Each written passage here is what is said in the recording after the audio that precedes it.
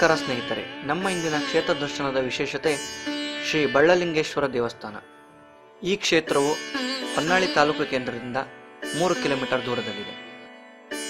ಒಮ್ಮೆ ಮುತ್ತುರತ್ನ ವ್ಯಾಪಾರಿಗಳು ಇದೇ ಮಾರ್ಗವಾಗಿ ಹಾದು ಹೋಗುತ್ತಿರುವಾಗ ಅದರಲ್ಲೊಬ್ಬನಿಗೆ ಪ್ರತಿನಿತ್ಯ ಶಿವಪೂಜೆಯನ್ನು ಮಾಡಿದ ನಂತರವೇ ಉಪಹಾರ ಸೇವಿಸುವಂತಹ ಕಾಯಕ.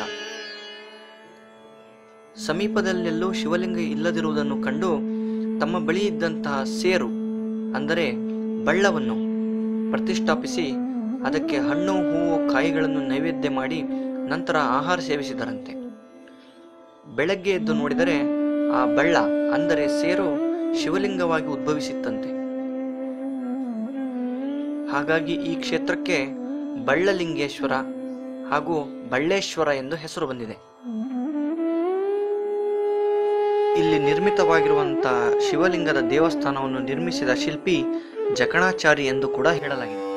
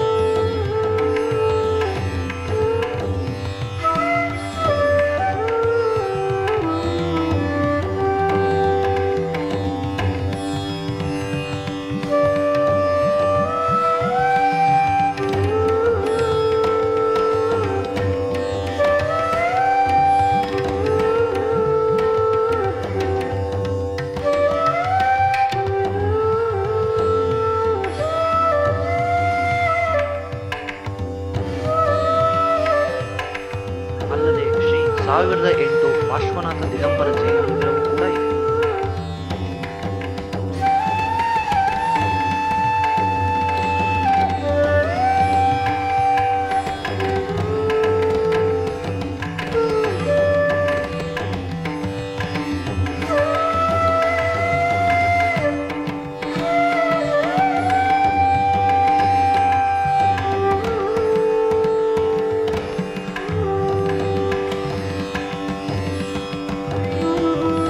ಕ್ಷೇತ್ರ ಬಳ್ಳಲಿಗೆ ಪರಿವಾರ ಹೋಗಿ ಬನ್ನಿ ನಮ್ಮ ಈ ಕಾರ್ಯಕ್ರಮ.